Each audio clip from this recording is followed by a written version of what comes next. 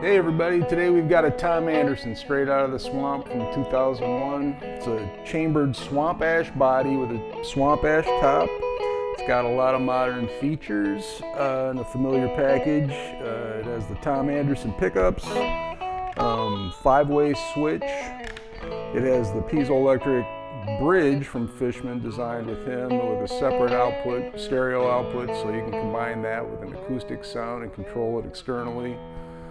Uh, nice mid-sized neck, really comfortable shape on the back of it. Nice mid-sized jumbo frets for easy bending. Uh, it does feature the Buzz Feiten tuning system.